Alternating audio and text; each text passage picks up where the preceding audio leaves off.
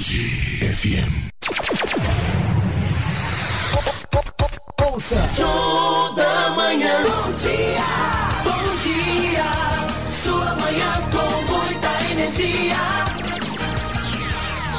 Você em boa companhia.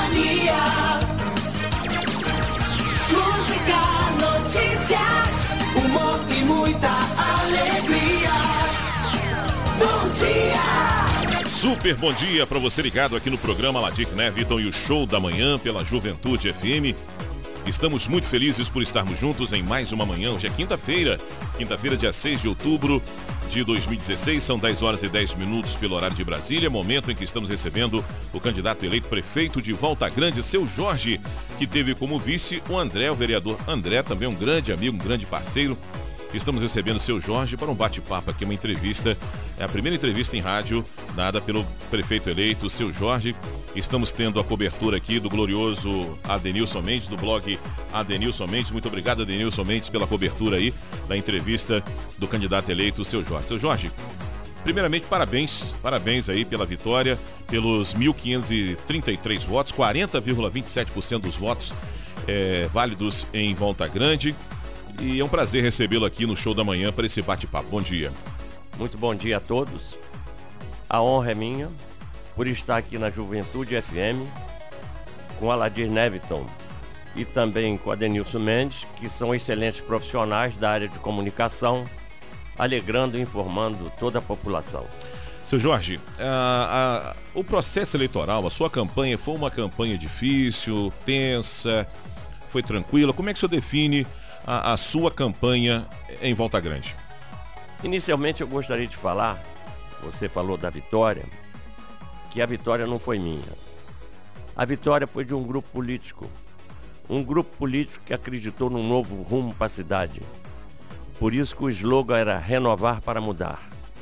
Portanto, a vitória não foi nossa, particularmente foi de um grupo político. Com relação às dificuldades de campanha, é uma dificuldade comum a todos nós. Mesmo porque anteriormente nós teríamos três meses para formatar uma campanha política. É um tempo razoável.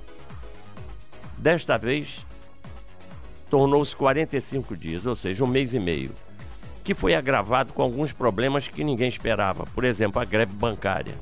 Isso atrapalhou muito, porque existe uma burocracia a ser cumprida de acordo com a legislação eleitoral. Isso trouxe um determinado transtorno e com isso nós perdemos muito tempo de campanha. Uhum. Isso atrapalhou a muitos candidatos. Sim. Mas a campanha transcorreu bem, pequeníssimos incidentes, mas a, a turma sempre atenta e nós pedindo para que os ânimos se mantivessem calmos.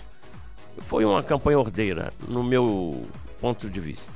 É, seu Jorge, é, o senhor é uma pessoa muito centrada, uma pessoa experiente, administrador de empresas, é, vem de uma secretaria do Rio de Janeiro.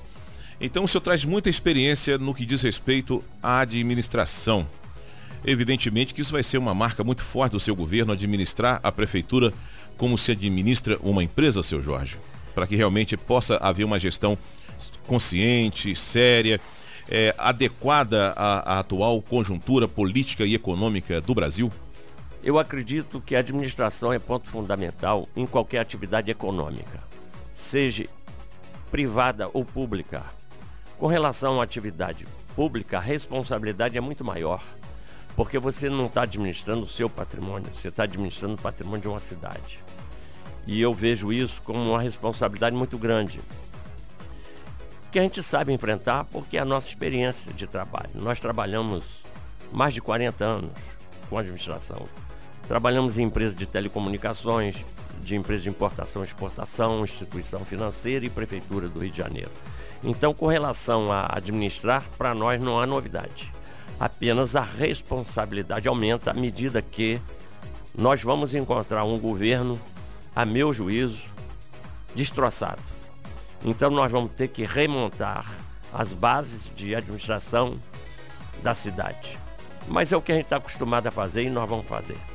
Seu Jorge, é claro que são grandes os desafios para qualquer é, prefeito que assume no ano que vem. É, ou seja, o cenário político está muito delicado, a questão econômica do país também merece cuidados especiais. Sem falar mal, sem falar mal da, da, administração anterior, não é o caso aqui, nós estamos falando da sua gestão, daquilo que o seu Jorge tem para oferecer à, à, Volta Grande. A minha pergunta é o seguinte, claro que, o, que o senhor se candidatou, se lançou candidato, juntamente com o vice André, é porque alguma coisa o incomodava na sua cidade. Ou seja, alguma coisa aos seus olhos não estava de acordo e precisava mudar.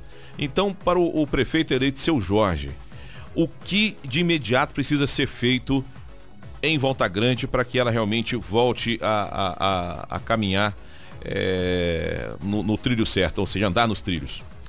Aliás, você falou a palavra correta, trilho. Nós temos que colocar o trem no trilho, porque depois ele anda sozinho por si mesmo. Mas o que nos leva a, a fazer essa, esse desafio, que é um desafio, é, é não conformarmos com o que estava acontecendo na cidade.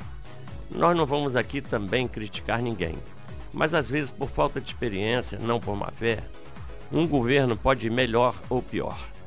Eu acredito que o nosso objetivo fundamental é que haja crescimento econômico melhoria de qualidade de vida, especialmente de quem precisa. Porque quando a cidade tem crescimento econômico a melhoria de qualidade de vida ela acompanha o crescimento econômico e atinge principalmente a quem mais precisa, que é o objetivo fundamental. É claro que com isso todos ganham, quem precisa, quem não precisa. Agora, para que isso ocorra, além de nós termos que ter muito cuidado com o investimento, com pouco recurso, que eu sei que são poucos, nós temos que ter uma boa articulação política para formatar um quadro político de apoio, seja estadual ou federal, que nos traga recursos novos para somar com os poucos que temos.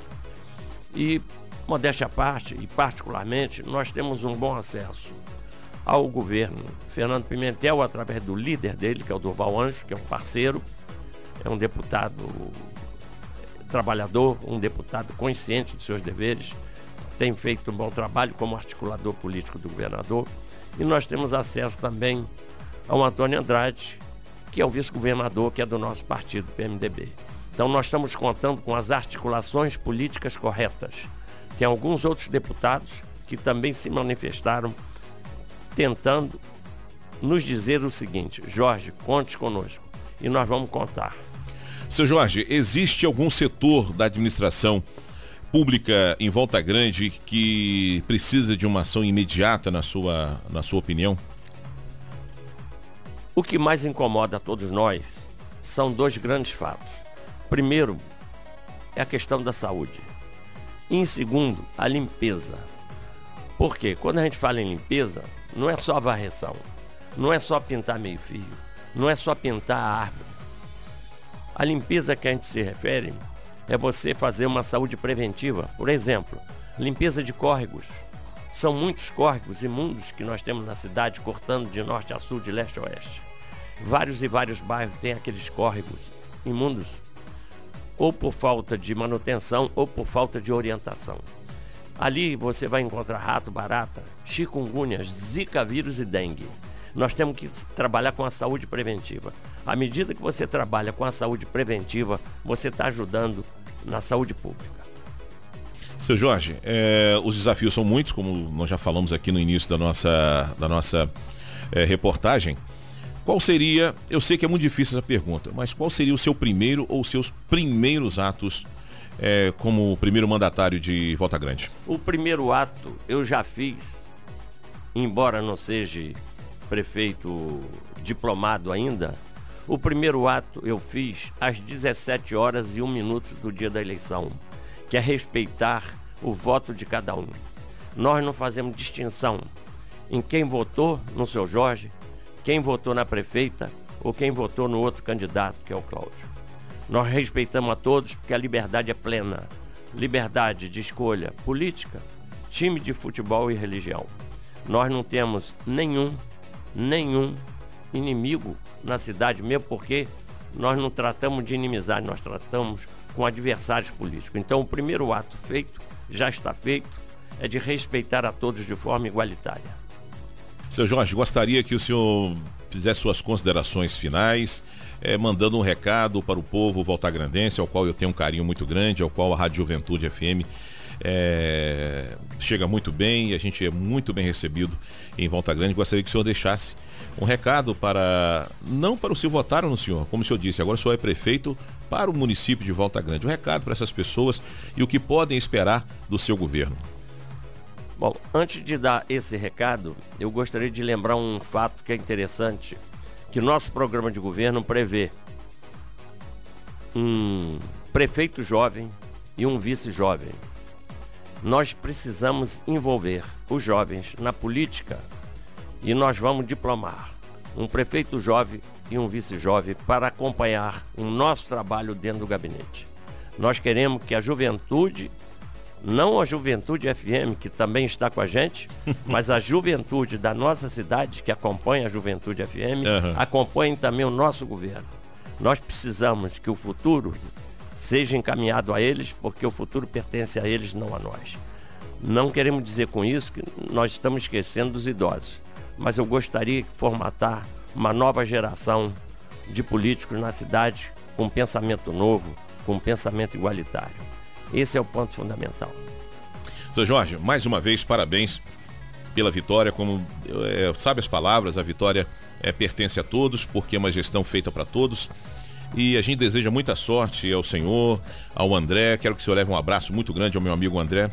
É um amigo de longas datas, sei do, do carinho que ele tem por, por Volta Grande também, a capacidade que ele tem, a capacidade que, que juntos vocês terão, juntamente com uma boa equipe de governo, eu tenho certeza é, que o senhor vai pensar muito na questão técnica, até porque o senhor trabalhou em questões técnicas, sabe muito bem a necessidade de colocar bons profissionais é, nos cargos ocupados na prefeitura é, de Volta Grande. Desejo muita sorte, que realmente é, Volta Grande tenha muito a ganhar com essa nova gestão. Um abraço, muito obrigado mais uma vez. A honra foi minha. Eu deixo aqui meu agradecimento por essa oportunidade a você, a Ladir Neviton, a Denilson Mendes também muito obrigado pelo acompanhamento da entrevista. E deixo aqui um forte abraço a todos os voltagrandenses, dizendo a eles que a minha responsabilidade eu sei que temos e que ela é consciente e nós vamos trabalhar para uma melhor qualidade de vida de todos os voltagrandenses. Muito obrigado. Conversamos então com o candidato eleito, seu Jorge, prefeito de Volta Grande, juntamente com seu vice André. Agradecendo também a cobertura gloriosa do nosso companheiro Adenilson Mendes, acompanhando aqui a, a reportagem, que estará no seu blog, né, Adenilson? Estará também é, transmitida aí no, no blog do Adenilson Mendes. Muito obrigado. Daqui a pouquinho, depois do intervalo, estaremos de volta aqui na Juventude FM, no programa Ladir Neviton e o Show da Manhã. Juventude FM. Ouça Show da Manhã. Bom dia, bom dia. Sua manhã com muita energia. Você boa companhia.